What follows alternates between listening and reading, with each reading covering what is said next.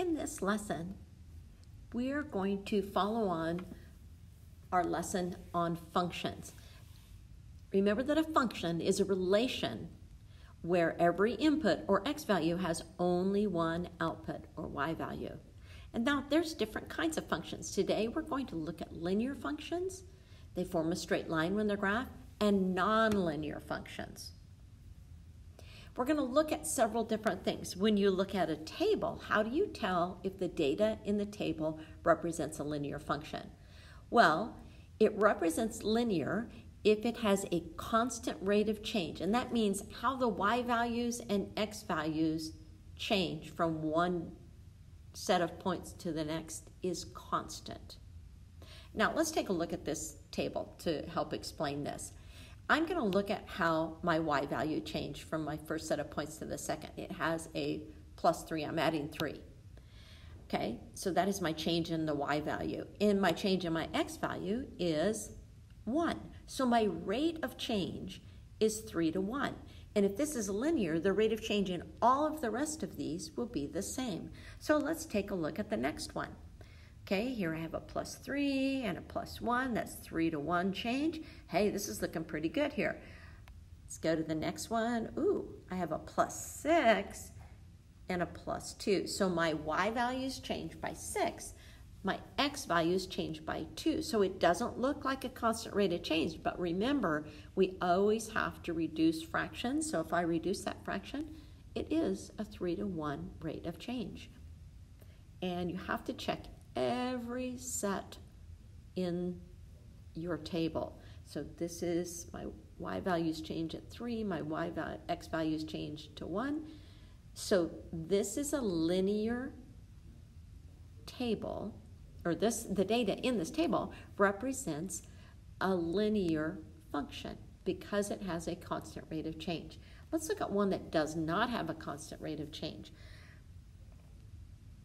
All right, let's check how our y values are changing. It's 4 over 1. So I'm looking for a rate of change of 4 to 1 on every other um, set of uh, sorry, of every other ordered pair to make it linear. So let's take a look at the other one. This is 12 over 1. Oh, well, I can't reduce 12 over 1. That's as simple as that gets. So this is not linear because it does not have the same rate of change or a constant rate of change.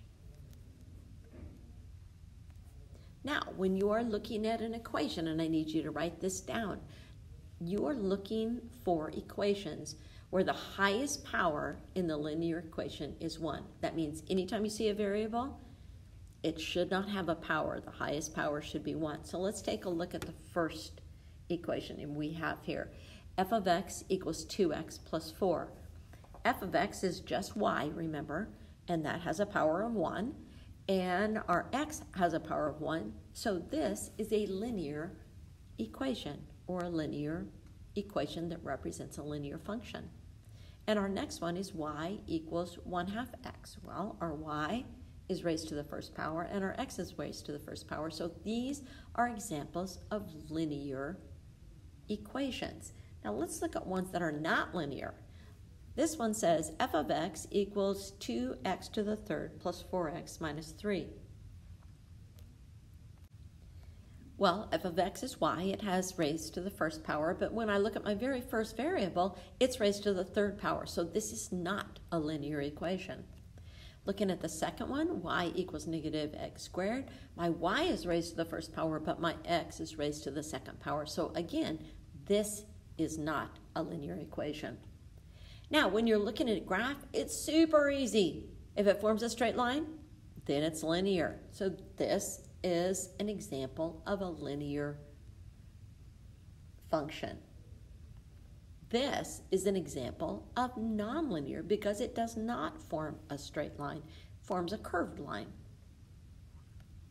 All right, let's use some of this stuff. Now, I'm going to give you two tables and I want you to tell me if they represent linear or nonlinear functions. I'm going to ask you questions like this on your unit test. So First thing I'm going to do is I'm going to look at how all of my x values change. eh, they all change by one. And then I'm going to look at how my y values change. Oh, they all change by three.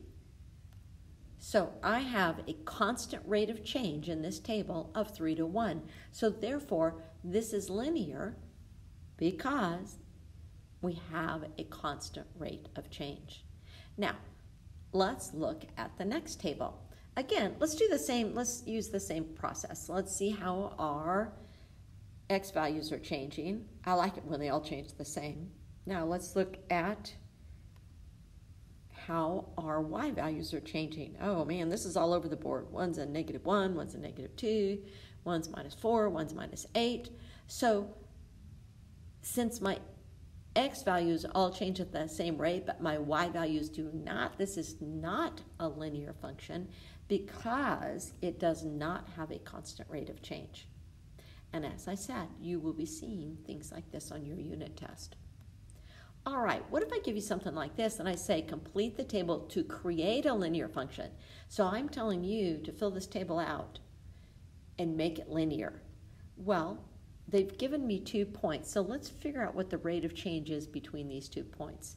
Notice that my x values are changing, I'm sorry, my y values are changing by adding 5 and my x values are changing by adding 2. So every time my x goes up by 2, my y has to go up by 5. So I'm going to do that. I'm going to add, since my x values go up by 2 here, I'm just going to add 5 to my y value and get 16. I'm going to do the same thing going to 10. I'm going to add 5 and get 21. Now look at this one. The very first term, I'm going backwards. So I had to subtract 2. So it makes sense that on the y value, I would have to subtract 5. Now, look at the variable. All must be to the first power. Circle all the functions that are linear. Let's look at our first one. Well, I've got two variables, and they're both raised to the first power, so that is linear. Now let's take a look at this next one. I have two values, uh, two variables, and they're both raised to the first power. Yep, that's linear. Let's take a look at this one. I've got two variables, but one is x raised to the second power, so this is not linear. This, I have two variables, um, but my variable in the second term, 5 raised to the x, that x could be any value. So that is not a function. Now, let's take a look at this one. I've got two variables, but one of them is raised to the third power, so that is not a function. Now let's take a look at this one. This is kind of an odd one. I actually have two variables here. I have f of, or i of x and x. It's just that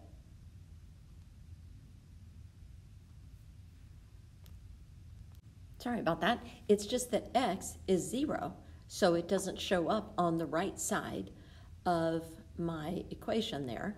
So they're both raised to the first power, and therefore this is linear. This is actually a horizontal line.